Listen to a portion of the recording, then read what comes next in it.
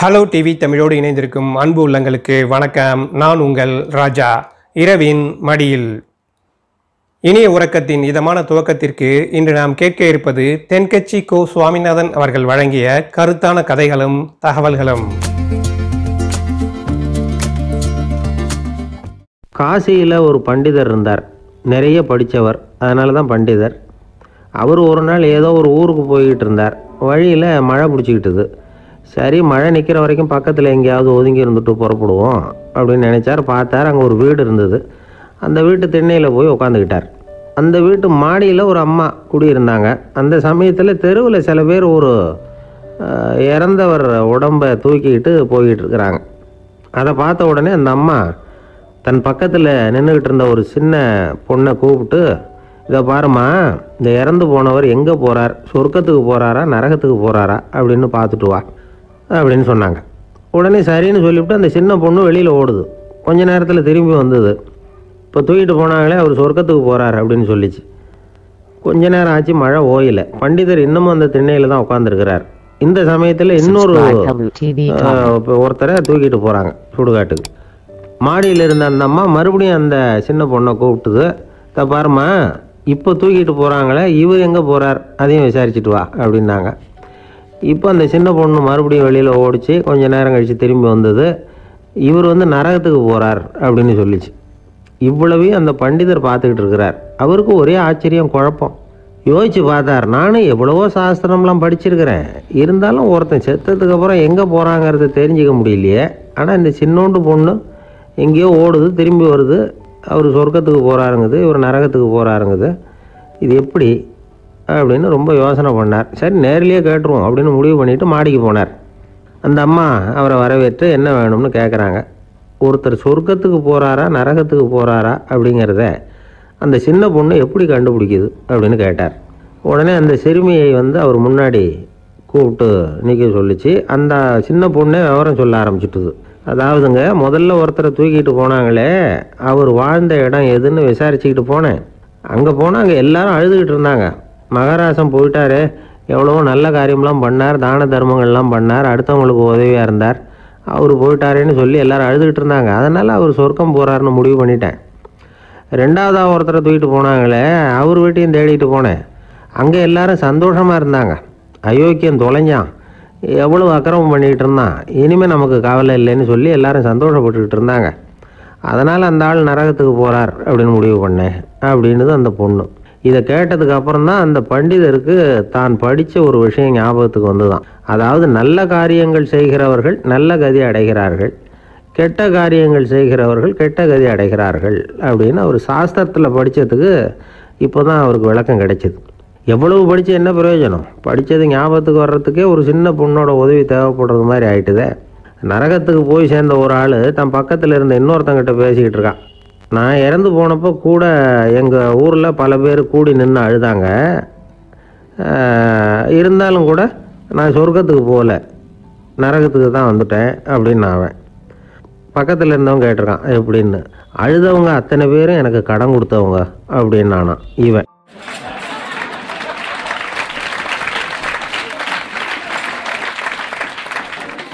நம்ம உடம்புல ரத்த அழுத்தம் இருக்குதே அது நல்லதாக கெடுதலா? உடனே அது கெடுதல்னு தான் சொல்லுவோம். ஆனால் உண்மை அது இல்லை. இயற்கையாக உள்ள ரத்த அழுத்தம் நம்ம உடம்புக்கு தேவையான ஒன்று அந்த அழுத்தம் அதிகமாக போனால் தான் கெடுதல். அதை தான் நாம் பிபின்னு சொல்கிறோம் ஆனால் அது உண்மையிலேயே வந்து உயர் ரத்த அழுத்தம். ஹைப்பர் டென்ஷன் இதயம்ங்கிறது ஓயாமல் வேலை செஞ்சுக்கிட்டு இருக்கிற ஒரு பம்பு. இதயம் சுருங்கி ரத்தத்தை வந்து பம்பு செய்கிறப்போ ரத்த அழுத்தம் கூடுதலாக இருக்கும். இதுக்கு பேர் சிஸ்டாலிக் பிளட் ப்ரெஷர் அப்படின்னு பேர். இதயம் விரிந்த நிலைக்கு திரும்புகிறப்போ ரத்த அழுத்தமும் குறையுது. இதுக்கு பேர் டயஸ்டாலிக் பிளட் ப்ரெஷர் அப்படின்னு பேர். இப்படி இது மாறி மாறி இருக்கும். இந்த பிபி நூற்றி நாற்பது தொண்ணூறு இப்படின்லாம் சொல்கிறாங்கல்ல இதுதான். சீராக இருக்க வேண்டிய ரத்த அழுத்தம் ஒரு அளவுக்கு மேலே அதிகரிச்சுட்டா ஆபத்து ஆரம்பம்னு அர்த்தம். சரி இந்த உயர் ரத்த அழுத்தம் உண்டாகிறதுக்கு என்ன காரணம்? இதனால தான் இது வருதுன்னு ஒரு காரணத்தை குறிப்பிட்டு சொல்ல முடியாது. ஆனால் வம்சாவளி காரணம். ரொம்ப டென்ஷனான சூழ்நிலையில் வேலை செய்கிறது உடம்பு குண்டாக இருக்கிறது. இதெல்லாம் இந்த ஹை பிபிக்கு துணை செய்யுது. அப்படி தான் எடுத்துக்க வேண்டியிருக்குது. இது வந்து கிருமியினால் ஏற்படுற வியாதி இல்லை. உடம்புல ஏற்படுற ஒரு பழுது அவ்வளவுதான். இப்போ நாற்பது வயசுக்கு மேலே தான் பொதுவாக இது பாதிக்கும். அதெல்லாம் சரி ஒருத்தருக்கு உயர் ரத்த அழுத்தம் இருக்குது. அதை கட்டுப்படுத்துறதுக்கு வழி ஏதாவது உண்டா? அப்படின்னா உண்டு. மருந்து கொடுத்தும் சரி பண்ணலாம். மருந்து இல்லாத சிகிச்சை முறைகளும் இருக்குது. இப்போ மருந்து சாப்பிட்றதுன்னா டாக்டர்கிட்ட போயிடலாம். அதுக்கு இப்போ சுமாராக முப்பது விதமான மருந்துகள் இருக்குதான். மருந்தோட உடல் கட்டுப்பாடும் மனக்கட்டுப்பாடும் சேர்ந்ததுன்னா ரொம்ப விசேஷம். அது இருக்கட்டும் மருந்து இல்லாமல் நாம் செய்ய வேண்டியது என்ன? அதை தெரிஞ்சுக்குவோம். முதல்ல சீரான உடற்பயிற்சி. வாக்கிங் ரொம்ப நல்லது. மனசை அமைதிப்படுத்துறதுக்கு யோகாசனம் ஆழ்நிலை தியானம் இது மாதிரியான பயிற்சிகள் நல்லது. ஒரு காலத்தில் யோகாசனம் பண்ணுங்க தியானம் பண்ணுங்கன்னு சொன்னால் ஒரு மாதிரியாக பார்த்தாங்க. இப்போ மருத்துவ நிபுணர்களே அதெல்லாம் ரொம்ப அவசியம்தான் அப்படின்னு சொல்கிறாங்க இன்னொரு அதிசய சிகிச்சை முறை இப்போ வழக்கத்துக்கு வந்திருக்குது. பயோ ஃபீட்பேக் அப்படின்னு பேர். மூளையின் அழுத்த அலைகளை பதிவு பண்ணி அதை மறுபடியும் உடம்புக்குள்ளே செலுத்தி இந்த ரத்த அழுத்தத்தை சீராக்கி போடுறாங்க. சில பேருக்கு இந்த ஹை பிபி பார்டர் லைனில் இருக்கும். அவங்களுக்கெல்லாம் மருந்துகள் அவசியம் இல்லை. வாழ்க்கை முறையில் சில மாற்றங்களை பண்ணிக்கிட்டாவே போதும். பிஹேவியரல் மாடிஃபிகேஷன்ஸ்னு சொல்கிறாங்க அதை. அது எப்படின்னா பரபரப்பான வாழ்க்கை முறையை தவிர்க்கணும். புகைப்பிடிக்கிற பழக்கம் மது அருந்தும் பழக்கம் இதெல்லாம் இருந்தால் விட்டுடணும் சாப்பாட்டில் உப்பை குறைக்கணும். கொழுப்பு சத்து ஆகாரங்களை குறைச்சிக்கணும். முடிஞ்சால் விட்டுடலாம். குடும்பத்தில் ஏற்கனவே யாருக்காவது ஹை பிபி இருந்தால் சந்ததிகள் ஜாக்கிரதையாக இருக்கணும். நடுத்தர வயசை அடைஞ்சவங்க அப்பப்போ அந்த பிபி செக் பண்ணிக்கிறது நல்லது. டாக்டர் சொல்கிறத நம்மளில் பல பேர் சரியாகவே கேட்குறதில்ல அதனால தான் இடைஞ்சல். ஒரு ஆள் பிபின்னு சொல்லி டாக்டர்கிட்ட போனான். உடம்பு குண்டாக இருக்குது அதை குறைக்கணும். முதல்ல தினமும் உடற்பயிற்சி பண்ணு அப்படின்னார். சரின்னு சொல்லிவிட்டு வந்தான். செஞ்சான். கொஞ்ச நாள் கழித்து மறுபடியும் டாக்டர்கிட்ட போனான். என்னப்பா எக்ஸசைஸ் பண்ணியா? அப்படின்னு கேட்டார். தினமும் பண்ணினேன் டாக்டர்னா. என்ன பண்ணேன்னு கேட்டார். முன்னெல்லாம் சிகரெட்டை வந்து கடையில் வாங்குவேன். இப்போ நான் அப்படி வாங்குறத விட்டுட்டேன். தினமும் நானே என் கையாலேயே உருட்டி தயார் பண்ணுறேன் டாக்டர். இது ஒரு எக்ஸசைஸ் தானே அப்படின்னு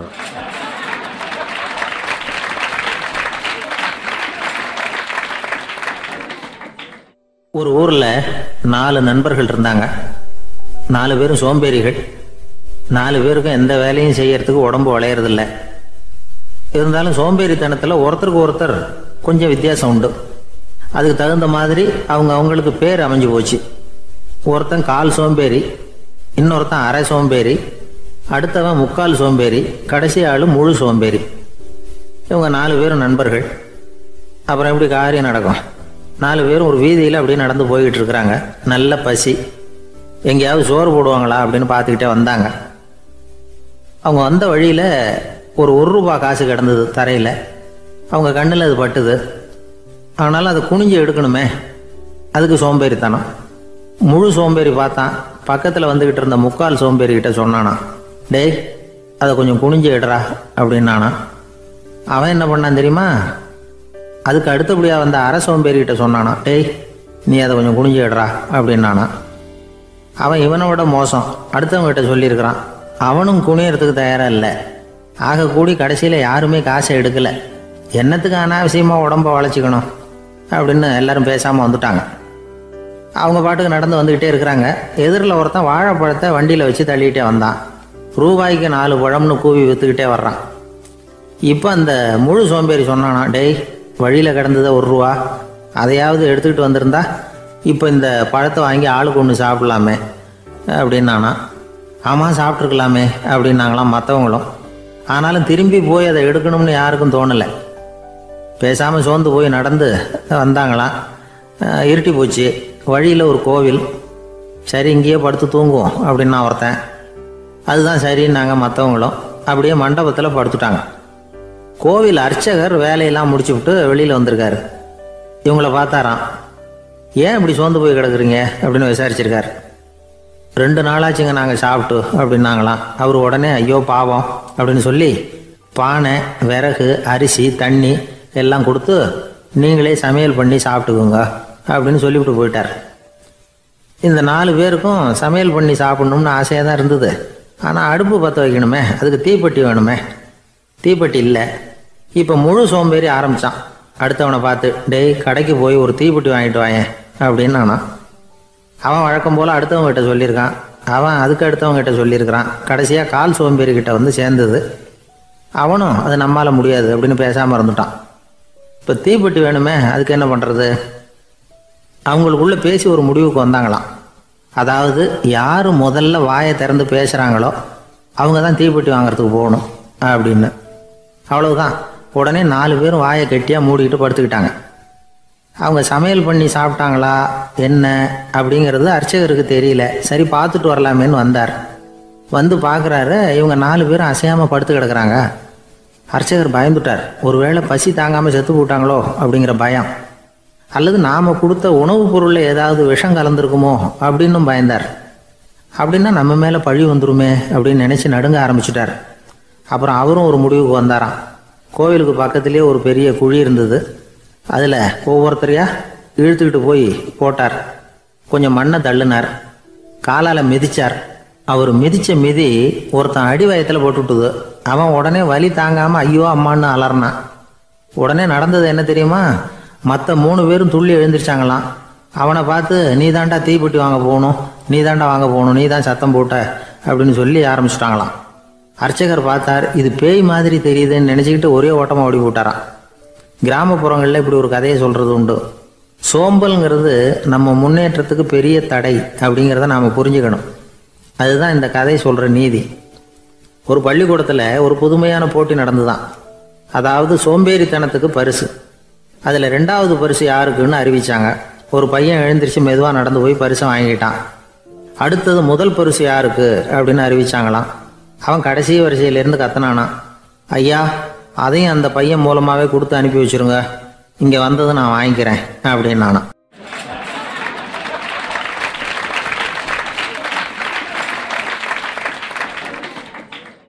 என்னுடைய நண்பர் ஒருத்தர்.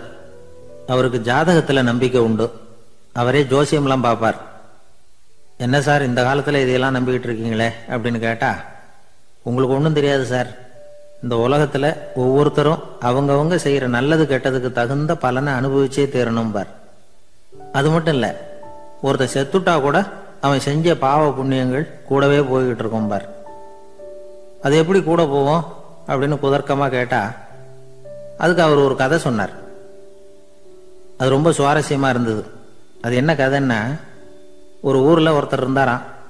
அவர் ஜோசியம் பார்க்கறதுல ரொம்ப கெட்டிக்காரரான் ஒருத்தருடைய தலைமுடியை மட்டும் அவர்கிட்ட காட்டினா போதும். அதை மட்டும் பார்த்துட்டு அவருடைய ஜாதகத்தையே அலசி போடுவாராம். அப்பேற்பட்ட திறமை. அந்த ஆள் ஒரு சமயம் கன்னியாகுமரி கடற்கரைக்கு போயிருந்திருக்கார். அங்கே கரை ஓரமாக ஒரு மண்டை ஓடு கிடந்திருக்கு. அதை எடுத்து பார்த்துருக்கார். அந்த மண்டை ஓட்டை வச்சுக்கிட்டே அதோட ஜாதகத்தை அலசியிருக்கார். இந்த மண்டை ஓட்டுக்கு உரிய ஆசாமி வாழ்க்கையில் ரொம்ப கஷ்டப்பட்டிருக்கணும். நிறைய கஷ்டத்தை அனுபவிச்சிருக்கணும். அது தாங்க முடியாம தான் கடல்ல விழுந்து தற்கொலை பண்ணிட்டு இருக்கான் அப்படிங்கிறத அவர் கணிச்சுட்டார். இருந்தாலும் இந்த மண்டை ஓடு இன்னமும் அனுபவிக்க வேண்டியது பாக்கி இருக்கு அப்படிங்கிறத அவர் உணர்ந்தாராம். அது சரி ஒருத்தன் உயிரோடு இருக்கிற வரைக்கும் நல்லது கெட்டதை அனுபவிக்க முடியும். செத்ததுக்கு அப்புறமும் பாக்கி இருக்குன்னா அதை எப்படி அனுபவிக்கிறது? இந்த மண்டை ஓட்டுக்கு இன்னும் கொஞ்சம் பாக்கி இருக்குங்கிறது அவருக்கு புரிஞ்சதே தவிர அதோட அர்த்தம் என்னங்கிறது சரியாக விளங்கலை. சரி இதை இன்னும் கொஞ்சம் விவரமாக ஆராய்ச்சி பண்ணுவோம் அப்படின்னு நினச்சிக்கிட்டு அதை தன்னுடைய வீட்டுக்கு எடுத்துகிட்டு போயிட்டார். அந்த மண்டை ஓட்டை ஒரு பெட்டியில் வச்சு பூட்டினார். தன்னுடைய தனி அறையில் அதை பத்திரமா வச்சுக்கிட்டார். தினமும் ராத்திரி ஆனதும் தன்னுடைய மனைவியை பார்த்து நீ போய் பூஜை அறையில் தனியாக படுத்துக்கோ அப்படின்னு சொல்லிவிட்டு தினம் ராத்திரி பன்னெண்டு மணிக்கு பெட்டியை திறந்து அவர் பார்ப்பார். மண்டை அப்படியே இருந்தது தவிர இன்னும் கொஞ்சம் பாக்கி இருக்குங்கிறதுக்கு அர்த்தம் அவருக்கு விளங்கலை. அந்த மண்டை ஓட்டுக்கு இன்னும் என்ன பாக்கி இருக்க போகுது? இப்படியே ஒரு பத்து நாள் போச்சு. அந்த வீட்டம்மாவுக்கு சந்தேகம் வந்துட்டுது. நம்ம வீட்டுக்காரரு நம்மளை தனியாக ஏன் தூங்க சொல்கிறார் அப்படிங்கிற சந்தேகம். உடனே பக்கத்து வீட்டு அம்மா கிட்ட விஷயத்த சொல்லியிருக்கிறாங்க. அந்த அம்மா உடனே நீ கவலைப்படாத நான் கண்டுபிடிச்சு சொல்றேன் அப்படின்னு சொல்லிவிட்டாங்களாம். அன்னைக்கு ராத்திரியே ஜன்னல் வழியா எட்டி பார்த்துருக்குறாங்க. இந்த ஆள் மண்டை ஓட்டை கையில் வச்சுக்கிட்டு அது திருப்பி திருப்பி பார்த்துக்கிட்டு இருக்கிறான். அதை பார்த்துட்டாங்க. மறுநாள் காலையில் அவரோட மனைவியை பார்த்தாங்க. ஏம்மா உன் வீட்டுக்காரருக்கு நீ முதல் மனைவியா ரெண்டாவது மனைவியா? அப்படின்னு கேட்டாங்களாம். எனக்கு தெரிஞ்ச வரைக்கும் நான் ஒருத்தி தான் அவருடைய மனைவி அப்படின்னாங்களாம் அவங்க. அப்படி இல்லை. நீ அவருக்கு ரெண்டாவது மனைவி. முதல் மனைவியின் மண்டை ஓட்டை தான் அவர் தினமும் ராத்திரியில் எடுத்து பார்த்துக்கிட்டு இருக்கிறார். அப்படின்னாங்க. அடுத்த வீட்டு அம்மா. அப்படியா விஷயம்? அப்படின்னு சொல்லிவிட்டு கணவன் வீட்டில் இல்லாத நேரமாக பார்த்து அந்த மண்டை ஓட்டை எடுத்து கொண்டாந்து ஒரு உரல்ல போட்டு உலக்கையால் குத்தி நொறுக்க ஆரம்பிச்சிட்டாங்க. வெளியில் போயிருந்த அந்த ஆள் அப்பதான் உள்ளே நுழைஞ்சார். மண்டை ஓடு உலக்கைக்கிட்ட குத்து வாங்கிக்கிட்டு இருக்கு. அது அனுபவிக்க வேண்டியது இன்னும் கொஞ்சம் பாக்கி இருக்குங்கிறதுக்கு அர்த்தம் எனக்கு இப்பதான் புரிஞ்சுது அப்படின்னாராம் அவர். இந்த கதையிலேருந்து நாம இன்னொரு நீதியையும் புரிஞ்சுக்கணும். அதாவது நம்ம வீட்டை பத்தி நமக்கு புரியாததெல்லாம் அடுத்த வீட்டுக்காரங்களுக்கு நல்லா புரியும்.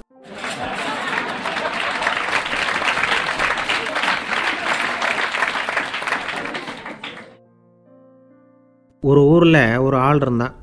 அவனுக்கு ஒரே ஒரு மகள். அவளை நல்ல இடத்துல கட்டி கொடுக்கணும்னு ஆசைப்பட்டான். அதுக்காக மாப்பிள்ளை தேடிக்கிட்டு இருந்தான்.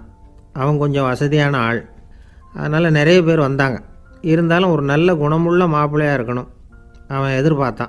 அப்படி இருக்கணும்னு. தொடர்ந்து முயற்சி பண்ணான். கடைசியாக ஒரு மூணு பேர் கிடைச்சாங்க. அந்த மூணு பேரில் யாரை தேர்ந்தெடுக்கிறது? இதுதான் அவனுக்கு வந்த குழப்பம். இந்த நிலைமையில் ஒரு பெரியவரை தேடி போனான். அவர்கிட்ட தன்னுடைய பிரச்சனையை சொன்னான். அவர் கொஞ்சம் யோசனை பண்ணார். அதுக்கப்புறம் மூணு பேரையும் கூப்பிட்டார். இதை பாருங்கப்பா உங்கள் மூணு பேருக்கும் மூணு மாத கால அவகாசம் தர்றேன்.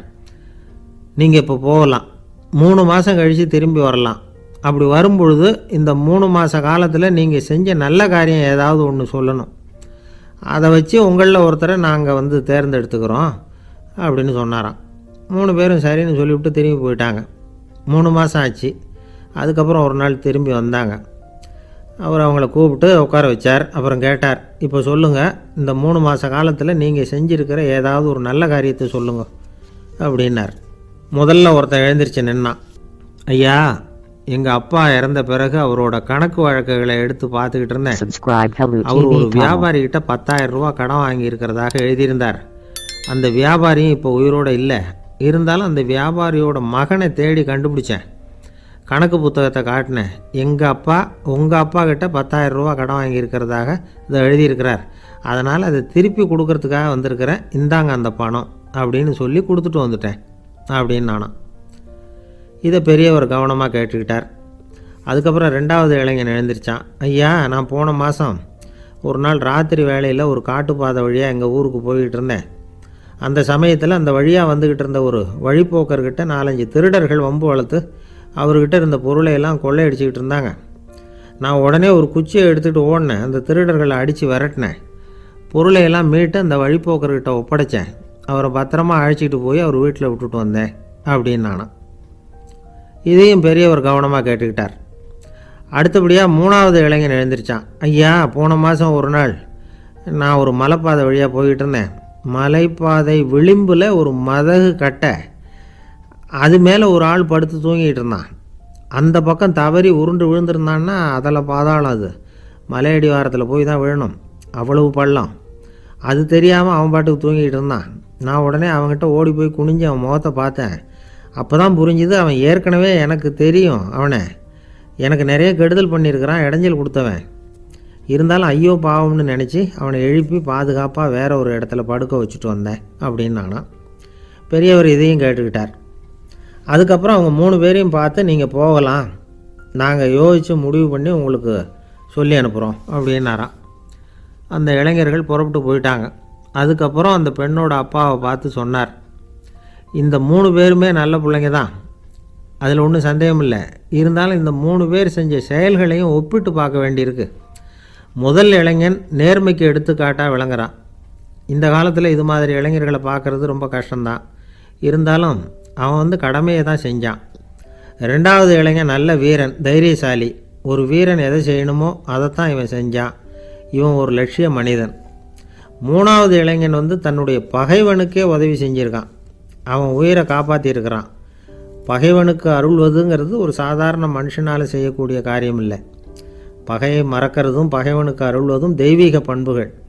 அதனால் இவனையே வந்து உன்னுடைய மகளுக்கு ஏற்ற மாப்பிள்ளையாக தேர்ந்தெடுக்கலாம். அப்படின்னு சொன்னாங்களாம். ஒரு நல்ல நாளில் அவங்களுக்கு வந்து திருமணம் நல்ல விதமாக நடந்து முடிஞ்சுதான். இது வந்து சுவாமி சின்மயானந்தர் சொல்லியிருக்கிற ஒரு கதை. இதிலேருந்து நாம் புரிந்து கொள்ள வேண்டிய ஒரு கருத்து நமக்கு கெடுதல் பண்ணவங்களுக்கும் நாம் நல்லது செய்யணும். ஆனால் நடைமுறையில் அப்படி நம்மளால் செய்ய முடியறதில்ல. அதுதான் சிக்கல். நம்மால் ஒருத்தங்கிட்ட கேட்டேன் ஏண்டா உன்னுடைய பகைவன் ஒருத்தன் அது மாதிரி ஒரு மலைப்பாதை மதகு கட்டையில் படுத்திருந்தா உடனே நீ என்ன நினைப்ப? அப்படின்னு கேட்டோம். இது ஒரு அருமையான சந்தர்ப்பம்னு நினைப்பேன். அப்படின்னா எதுக்குன்னு கேட்டோம். அவனை அந்த பக்கமாக உருட்டி கீழே தள்ளுறதுக்கு அப்படின்னா.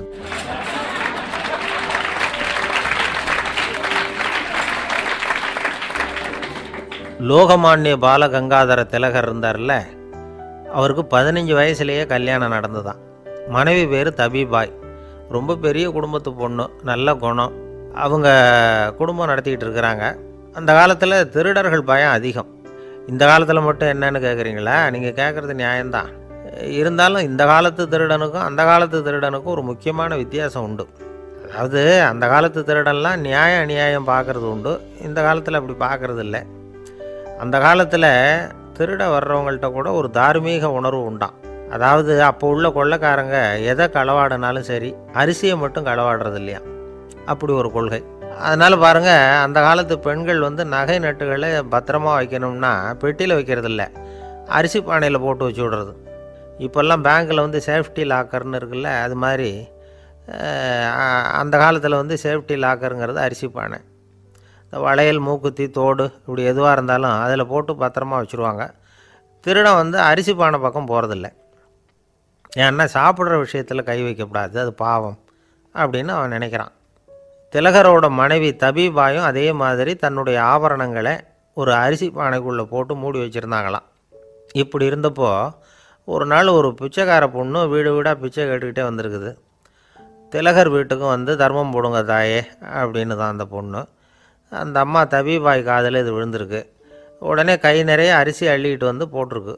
பாத்திரத்தில் அரிசியை போட்டதுக்கு அப்புறம் தான் தெரியுது பளிச்சுன்னு கண்ணில் படுது அதாவது அந்த அம்மாவோட வைர மூக்குத்தி ஒன்று அரிசியோடு சேர்ந்து அந்த பிச்சைக்கார பொண்ணு பாத்திரத்தில் போய் விழுந்துட்டுது. இந்த அம்மாவுக்கு மனசுக்குள்ளே குழப்பம். என்ன இப்படி ஆகிட்டுதே மூக்குத்தி போயிட்டுதே? பிச்சை பாத்திரத்துலேருந்து அதை எப்படி எடுக்கிறது? அப்படின்னு தயக்கம். வாயை திறந்து அதை கேட்குறதுக்கும் கூச்சம். திண்ணையில் உட்காந்துருந்த திலகர் இவ்வளவையும் பார்த்துக்கிட்டு இருக்கிறார்.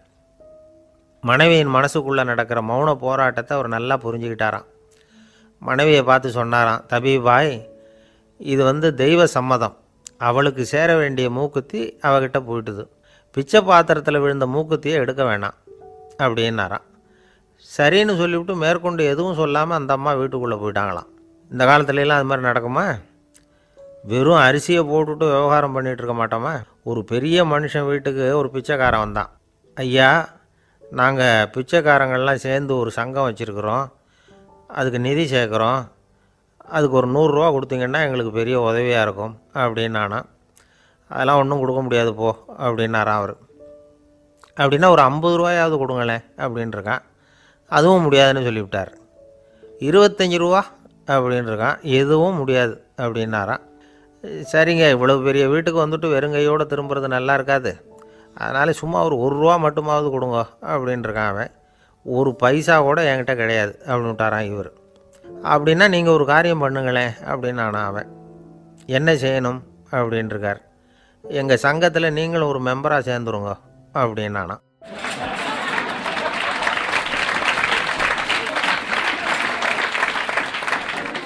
பக்தின்னு சொல்கிறோம் இல்லையா அது வந்து மூன்று வகைப்படும் அப்படிங்கிறார் ஒரு பெரியவர்.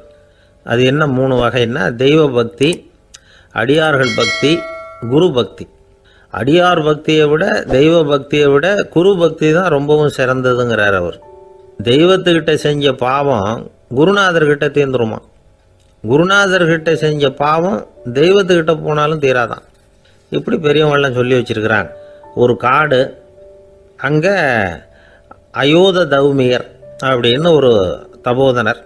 அவர் பல மாணவர்களை ஒன்றா சேர்த்து ஒரு குருகுலம் நடத்திக்கிட்டு இருக்கிறார் பல தரப்பட்டவங்க பல திறப்பட்டவங்க மாணவர்கள் அதில் சேர்ந்து படிச்சுக்கிட்டு இருக்கிறாங்க பாஞ்சால ராஜகுமாரன் ஒருத்தனும் அந்த குருகுலத்தில் சேர்ந்து படிச்சுக்கிட்டு இருக்கிறான் அவன் பேர் ஆருணி. பெரிய இடத்து புள்ள. இருந்தாலும் படுப்பில் ரொம்ப கெட்டிக்காரனாக இருந்தான். அவன் தான் அங்கே முதல் மாணவன். ஒரு நாள் குருநாதர் அந்த அரசகுமாரனை கூப்பிட்டார். நம்ம குருகுலத்துக்கு சொந்தமான வயலில் தண்ணீர் பெருகி வெள்ளம் வந்து பயிரை வந்து அழிக்குதான். அதனால் நீ போய் மடையை அடைச்சிட்டு வந்துடும் அப்படின்னார். அந்த அரசகுமாரன் உடனே புறப்பட்டான். குருநாதர் சொல்லிட்டார்ல உடனே புறப்பட்டான். நான் பெரிய இடத்து பிள்ளையாச்சே ராஜகுமாரனாச்சே ரொம்ப செல்வாக்கூட வளர்ந்தவனாச்சே நான் போய் வயலில் இறங்கி வேலை செய்கிறதா அப்படின்னுலாம் அவன் நினைக்கல. குருநாதர் கட்டளையை நிறைவேற்ற வேண்டியது நம்ம கடமை அப்படின்னு நினச்சான். உடனே ஒரு மண்வெட்டியை தூக்கி தோளில் வச்சுக்கிட்டு புறப்பட்டு போயிட்டான். வயலுக்கு போனான் பார்த்தான் தண்ணி கரையை உடச்சிக்கிட்டு வயலுக்குள்ளே ஏகமாக பாஞ்சிக்கிட்டு இருக்குது. இவன் மண்வெட்டியால் களிமண்ணை புல்லோடு சேர்த்து புல் பத்த மாதிரி வெட்டி வெட்டி போட்டான். இருந்தாலும் மடையை அடைக்க முடியல. தண்ணி அதை மீறி வந்துக்கிட்டே இருக்குது. தண்ணி வந்து வேகமாக வயலுக்குள்ளே போய்கிட்டே இருக்குது. போடுற பத்தையெல்லாம் கரைஞ்சி கரைஞ்சி போயிட்டுருக்கு இருந்தாலும் இவன் தன்னுடைய முயற்சியை கைவிடலை. வெட்டி வெட்டி போட்டுக்கிட்டே இருக்கிறான். காலையில் அங்கே போனவன் சாயந்தரம் வரைக்கும் இப்படி செஞ்சுக்கிட்டு இருக்கிறான். உடம்பும் மனசும் ரொம்பவும் சோர்ந்து போச்சு. இருந்தாலும் குருநாதர் இட்ட கட்டளையை நிறைவேற்றாமல் இருக்கிறோமேங்கிற ஒரு குறை அவனுக்கு இருக்குது குரு கட்டளையை நிறைவேற்றாத நான் வந்து இன்னமும் இருக்கணுமா அப்படின்னு யோசனை பண்ண ஆரம்பிச்சிட்டான். என்ன செய்யலாம்னு பார்த்தான். நம்ம குருநாதர் இட்ட பணிக்காக இந்த உடம்பையே தியாகம் பண்ணலாம் அப்படின்னு முடிவு பண்ணான். தண்ணி பாயுதில்லை அதுக்கு குறுக்க விழுந்து அப்படியே மடையை அடைச்சிக்கிட்டு அப்படியே படுத்துட்டான். இது மற்றவங்களுக்கு தெரியாது. அன்னைக்கு ராத்திரி ஒரு விளக்கு முன்னாடி உட்காந்து குருநாதர் பிள்ளைங்களுக்கு பாடம் சொல்லி கொடுத்துக்கிட்டு இருக்கிறார். முத வரிசையில் இருக்கக்கூடிய ராஜகுமாரனை காணலை. நம்ம ஆருணி எங்கே போனா அப்படின்னு சொல்லி மற்ற மாணவர்களை விசாரித்தார் இப்போ அவங்க சொன்னாங்க சுவாமி அவன் காலையில் வயலுக்கு வந்து மடையை அடைக்கிறதுக்காக போனான். நீங்கள் தான் போக சொன்னீங்க. இன்னும் திரும்பி வரல. அப்படின்னு அவர் பையன். குருநாதர் உடனே ஒரு தீவெட்டி எடுத்துக்கிட்டு மாணவர்களை அழைச்சிக்கிட்டு வயலுக்கு போனார். அங்கே போய் பார்த்தா ஆளை காணும். ஆருணி ஆருணின்னு சொல்லி சத்தம் போட்டு கூப்பிட்டு பார்க்குறார் நான் இங்கே இருக்கேன் குருநாதா அப்படின்னு காலுக்கு அடியிலேருந்து ஒரு சத்தம் வருது. குனிஞ்சு பார்த்தா அவன் மடையில் படுத்துருக்கிறான். என்னப்பா இதுன்னார். காலையிலேருந்து இந்த மடையை அடைச்சி பார்த்தேன் சுவாமி முடியல. அதனால் இப்படி குறுக்க படுத்துட்டேன். என்னை தாண்டறதுக்கு பயந்து போய் தண்ணியே தேங்கி நின்றுட்டுது அப்படின்னா அவனுடைய குரு பக்தியையும் அவனை தாண்டறதுக்கு அஞ்சு நிற்கிற தண்ணி தேக்கத்தையும் பார்த்துட்டு எல்லாரும் ரொம்ப ஆச்சரியப்பட்டு போயிட்டாங்களாம். ஆறுனே எழுந்திரிச்சு வா அப்படின்னு கூப்பிட்டாரான் குருநாதர். அவன் தண்ணீரை பொழந்துக்கிட்டு எழுந்திரிச்சு வந்தானான் அதனால் அவனுக்கு வந்து உத்தாலகன் அப்படின்னு ஒரு பேர். உத்தாலகன்னா தண்ணீரை பிளந்தவன் அர்த்தம். அந்த உத்தாலகன் மாதிரி இந்த காலத்து மாணவர்களுக்கும் குரு பக்தி வேணும். அப்படின்னு சொன்னோம். ஒரு பள்ளிக்கூடத்தில். உடனே நிறைய மாணவர்கள் எழுந்திருச்சு நின்னாங்க. சார் நீங்கள் எங்களை வந்து இன்னமும் சரியாக புரிஞ்சுக்கலன்னு நினைக்கிறோம். அன்னைக்காவது ஒருத்தன் அப்படி இருந்தான். இன்றைக்கி ஏகப்பட்ட உத்தாலகர்கள் இருக்கிறோம். எங்கள் வாத்தியார் கட்டளை இட்டால் இப்போவே அது மாதிரி வயலுக்கு போய் மடையில் குறுக்கப்படுத்துக்கிறதுக்கு இந்த வகுப்பில் உள்ள அத்தனை பேரும் தயாராக இருக்கிறோம் அப்படின்னாங்க. அப்படியா? அப்படின்னு சொல்லி கேட்டோம் ரொம்ப சந்தோஷமாக ஒருத்தன் ரொம்ப அடக்கமாக எழுந்திரிச்சான். அப்புறம் சொன்னான் ஆமாம் சார் வகுப்பில் வந்து இவர் நடத்துகிற பாடத்தை கேட்டுக்கிட்டு இருக்கிறத விட பேசாமல் போய் மடையில் படுத்துடுறது ஒன்றும் கஷ்டமான காரியமாக இருக்காது. அதனால தான் எல்லாரும் அங்கே போகிறேன்னு சொல்கிறோம் அப்படிங்கிறான்.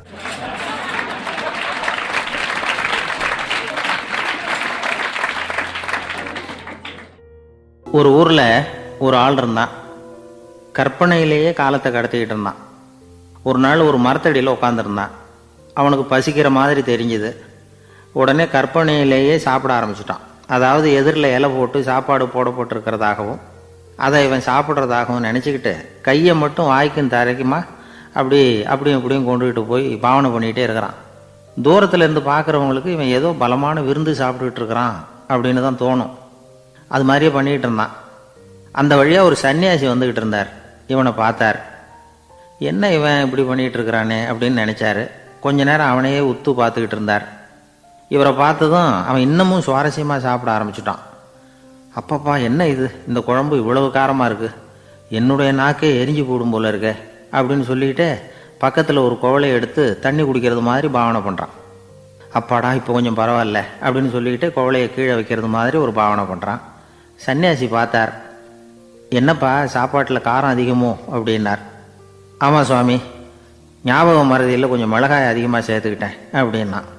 சரி சாப்பிடு அப்படின்னு சொல்லிட்டார். அவன் சாப்பிட்டு முடிக்கிற வரைக்கும் பொறுமையாக உட்காந்துருந்தார் அவன் அப்பாடா அப்படின்னு சொல்லிட்டு மறுபடியும் தண்ணி எடுத்து குடித்தான் எல்லாம் கற்பனையிலேயே.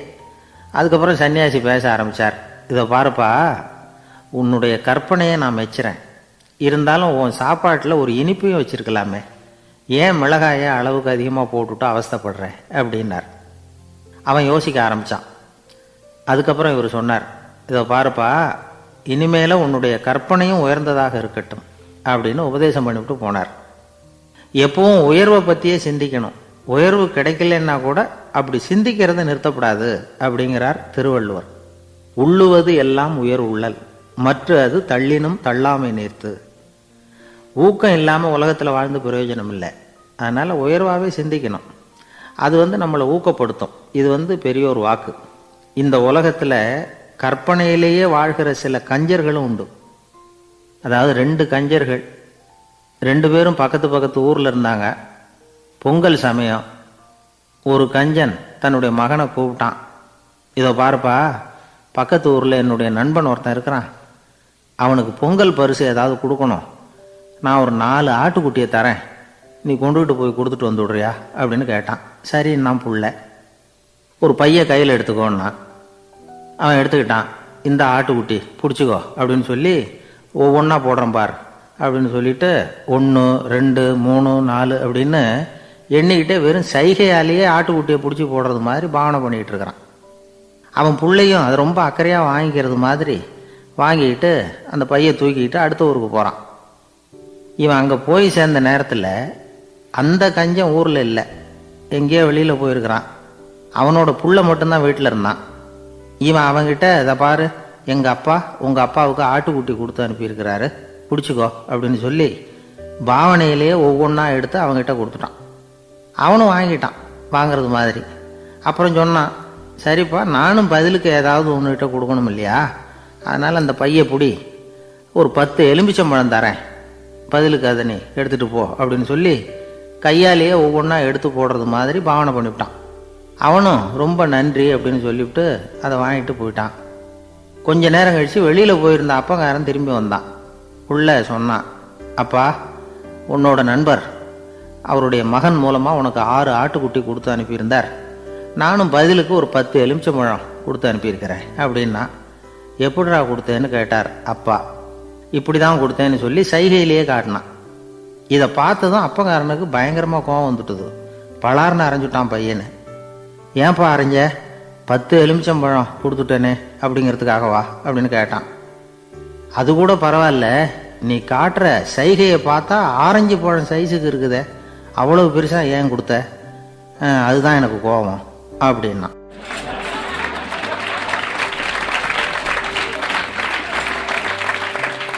சங்கீத வித்வான்களில் பல வகை உண்டு. சில குறிப்பிட்ட ராகங்களை பாடுறதில் அவங்களுக்கு பெருமை வர்றது உண்டு. ஆனால் ஒருத்தர் இருந்தார். அவரால் ஒரு ராகத்துக்கே பெருமை வந்தது. அந்த ராகத்தை அவர் வாசித்து கேட்கணும் அப்படின்னு சொல்லுவாங்க. அது என்ன ராகம்னா தோடி ராகம். சரி அந்த வித்வான் யாருன்னா அவர் தான் திருவாவடுதுறை ராஜரத்னம் பிள்ளை. பேராசிரியர் கல்கி ஒரு சமயம் தம்முடைய பத்திரிகையில் எழுதினாராம். அதை அப்படியே படிக்கிறேன் கேளுங்களேன். ஆஹா ஸ்ரீ ராஜரத்னம் பிள்ளையின் தோடி ஆலாபனையை முதன் முதலில் கேட்டபோது அவருடைய கற்பனையை விட்டு தள்ளுங்கள். நம்முடைய மனதில் என்னென்ன இன்பமயமான கற்பனைகள் எல்லாம் உதித்தன? குழந்தை தாயிடம் கொஞ்சம் குரலை கேட்டோம். அன்னை குழந்தையிடம் கொஞ்சம் குரலை கேட்டோம். ரதியும் மன்மதனும் பேசிக்கொண்ட காதல் மொழிகளை கேட்டோம். முருகன் சிவபெருமான் செவிகுளிர மொழிந்த உபதேசத்தை கேட்டோம். கலைமகள் கவிஞனுக்கு அருளிய ஆசி மொழிகளை கேட்டோம். நாரத முனிவருடைய தம்பூரா சுருதியை கேட்டோம். ராவணன் தன் எலும்பை ஒடித்து வீணையாகச் செய்து வாசித்த கானத்தை கேட்டோம். கானப் பறவைகளின் கலகல ஒலியை கேட்டோம். கோலக் குயில்களின் குரல் இனிமையை கேட்டோம். இப்படிலாம் வந்து பேராசிரியர் கல்கி விமர்சனம் எழுதியிருக்கிறார். திருவாவடுதுறை ராஜரத்னம் பிள்ளை அவர்களுடைய வாசிப்பை கேட்டுட்டு. டி. என். ராஜரத்னம் பிள்ளை வந்து இறந்து போனார். அப்போது கவிஞர் கண்ணதாசன் எழுதினார். செவியனில் ஓடி எங்கள் சிந்தையில் ஓடி இந்த புவியெல்லாம் ஓடி நின்பார் பொங்கிய தோடி வேறெங்கு எவரிடம் போகும்? ஐய இனி அதை காப்பார் யாவர்? அவிந்தனின் சடலத்தோடே அவிந்தது தோடிதானும் அப்படின்னு எழுதினாராம். அந்த அளவுக்கு அவருடைய தோடியை வந்து ரசித்தவர்கள் உண்டு. அதே மாதிரி தோடின்னா என்னன்னு தெரியாமலே அவரை ரசித்தவங்களும் அந்த காலத்தில் உண்டு. அதாவது ஒரு பெரிய சபையில் இவர் வாதிச்சுக்கிட்டு இருக்கிறார். பாதியில் ஒரு பெரிய மனுஷன் உள்ளே வந்தார். அவர் உடம்புல பட்டு வேஷ்டி ஜருக அங்கவஸ்திரம் வாயில் வெத்தலை வாசனை புகையில காதில் வைரக்கடுக்கன் கழுத்தில் தங்க சங்கிலி கை விரல் பூரா மோதிரம் கையில் ஒரு வெள்ளி வெத்தலை புட்டி. உதவிக்கு ரெண்டு பேர் பக்கத்தில். இவ்வளவு பந்தாவோடு வரார் கச்சேரி கேட்குறதுக்கு இப்படி வந்தவர் முதல் வரிசையில் வந்து உக்காந்தார். வித்வான் வாசித்து முடித்ததும் இவர் அவரை பார்த்து ஐயா நீங்கள் தோடி வாசிக்கிறதுல ரொம்ப கெட்டிக்காரர்னு கேள்விப்பட்டிருக்கேன். அதை கேட்கறதுக்காக தான் மெனக்கிட்டு வந்திருக்கிறேன். அதை வாசிங்களேன் அப்படின்னாராம். இந்த பெரியவர். ராஜரத்னம் பிள்ளைக்கு ஒன்றும் புரியல. ஏன்னா இது வரைக்கும் அவர் வாசிச்சுக்கிட்டு இருந்ததே அந்த தோடி ராகத்தை தான். அதை வாசித்து முடித்ததும் அதை வாசிங்களேன்னு இவர் கேட்குறார். அப்படின்னா இவரோட ஞானம் எப்படிப்பட்டது? இவ்வளவும் கேட்டுட்டு இப்படி கேட்குறாரே அப்படின்னு அவர் யோசிச்சிருக்கிறார் ராஜரத்னம் பிள்ளை. உடனே என்ன பண்ணார் தெரியுமா? பக்கத்தில் ரொம்ப சாதுவாக சுருதி போட்டுக்கிட்டு இருந்த ஒரு முதுகில் ஓங்கி ஒரு குத்து விட்டாராம். அவருக்கு ஒன்றும் புரியல எதுக்கு நம்மளை அடிக்கிறார் இவர்? நம்மளை குத்துறாரு வித்வான்னு. அவர் அதிர்ச்சியால் இவர் நிமிந்து பார்த்துருக்கார். அப்போ ராஜரத்னம் உள்ள சொன்னாராம் ஏயா ஐயா பெரிய மனுஷன் என்னுடைய பரம ரசிகர். தோடி ராகம் கேட்கணுங்கிறதுக்காக இவ்வளோ தூரம் வந்திருக்கிறார் வந்து முத வரிசையில் உட்காந்துருக்கார் நீ இந்த சமயம் பார்த்து தோடி ராகம் வாசிக்கிற நாதஸ்வரத்தை வீட்டில் வச்சுட்டு வந்துட்டியே. இப்போ ஐயாவுக்காக அந்த ராகத்தை நான் எப்படி வாசிக்கிறது அப்படின்னு சொல்லிவிட்டு மறுபடியும் முதுகில் ஒரு அடி கொடுத்தாராம். அடி வாங்கினவருக்கே சிரிப்பு அடக்க முடியலையா.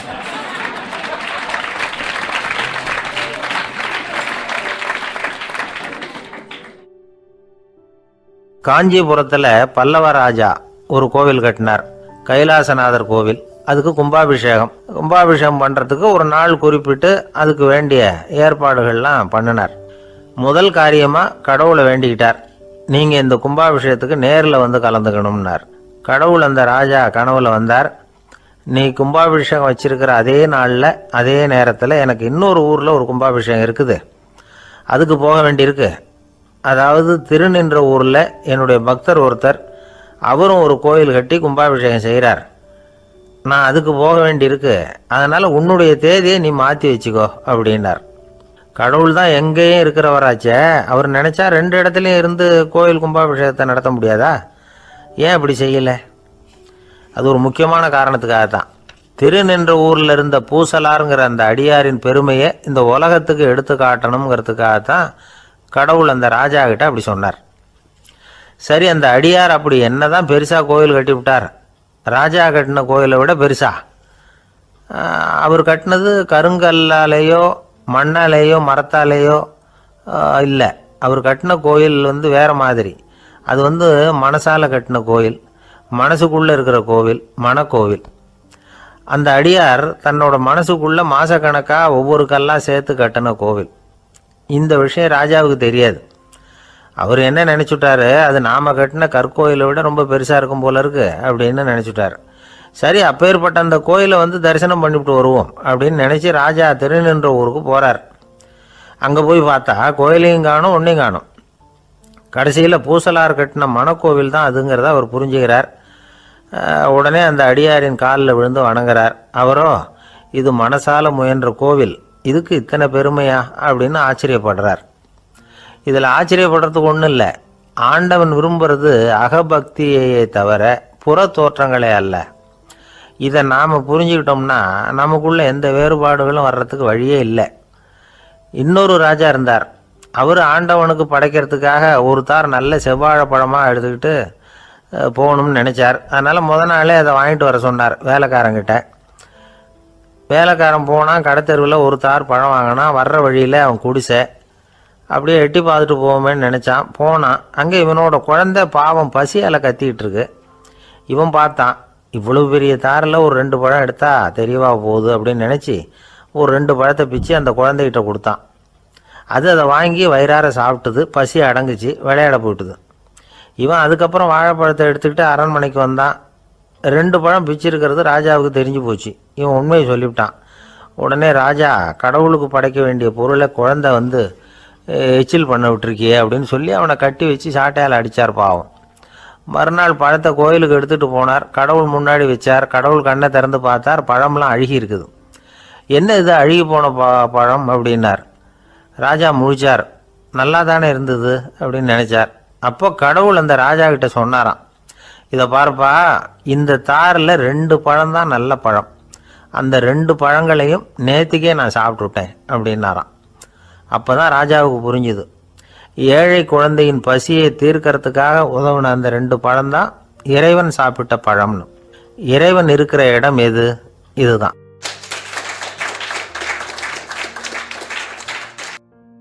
ஒரு பெரிய தத்துவ சிந்தனையாளர் இருந்தார். சுவாங்சு அப்படின்னு பேர். அவருடைய மனைவி ஒரு நாள் திடீர்னு காலமாயிட்டாங்க. ஐயோ பாவம் அவர் ரொம்ப வருத்தப்படுவார். போய் ஆறுதலாக நாலு வார்த்தை பேசிவிட்டு வரலாம் அப்படின்னு நினச்சிக்கிட்டு நிறைய பேர் அவரை தேடிட்டு வந்தாங்களாம். வந்தவங்களுக்கு ஆச்சரியம். ஏன்னா இவர் வருத்தப்பட்டுக்கிட்டு இருப்பார் அப்படின்னு தானே எதிர்பார்த்தாங்க. அப்படி இல்லை. தாளம் போட்டுக்கிட்டு உட்காந்துருக்கிறார் தாளத்துக்கு தகுந்த மாதிரி பாட்டு வேற பாடிக்கிட்டு இருக்கிறார். என்ன மனுஷன் அவர் கொஞ்சம் கூட கவலை இல்லாமல் இப்படி இருக்கிறாரு அப்படின்னு நினச்சாங்க. ஒருத்தர் துணிஞ்சு அவர்கிட்ட கேட்டுவிட்டார்.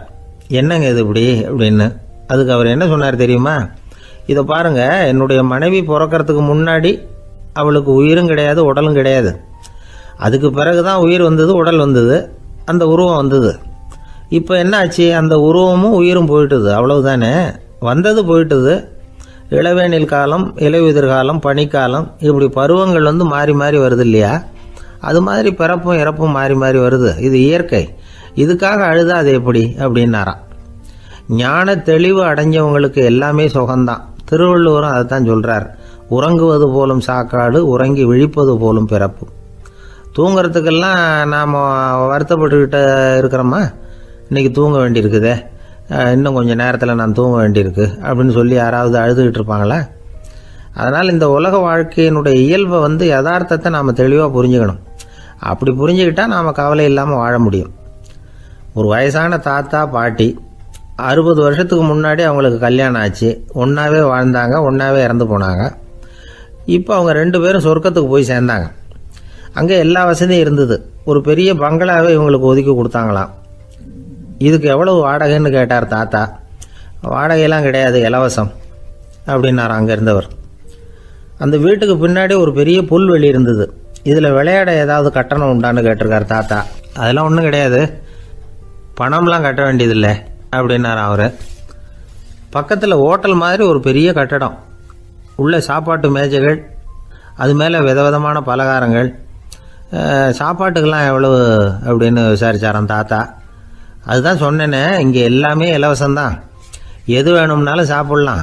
எவ்வளவு வேணும்னாலும் சாப்பிட்லாம் அப்படின்னாரா நீங்கள் சொல்கிறீங்க அப்படி ஆனால் நான் வந்து சர்க்கரை சேர்த்துக்கக்கூடாது உப்பு சேர்த்துக்கக்கூடாது பாட்டி கையால் எப்பவும் பத்திய சாப்பாடு தான் அப்படின்னாராம் தாத்தா. இதை பாருங்கள் இங்கே உங்களுக்கு அந்த கவலையும் வேண்டியதில்லை. இங்கே நீங்கள் ஸ்வீட்டு சாப்பிட்லாம் காரம் சாப்பிட்லாம் உங்களுக்கு எந்த நோயும் வராது அப்படின்னாராம். அங்கே சொர்க்கத்தில் இருந்தவர். இதை கேட்ட உடனே அந்த தாத்தா பக்கத்தில் நின்ன பாட்டியை பார்த்து கத்தினாராம். அடி பாவி எல்லாத்தையும் கெடுத்துட்டியே நீ எனக்கு பத்திய சாப்பாடு போடாமல் கண்டதை திங்க விட்டுருந்தா பத்து வருஷத்துக்கு முன்னாடியே நான் இங்கே வந்து சேர்ந்துருப்பேனே அப்படின்னாராம்.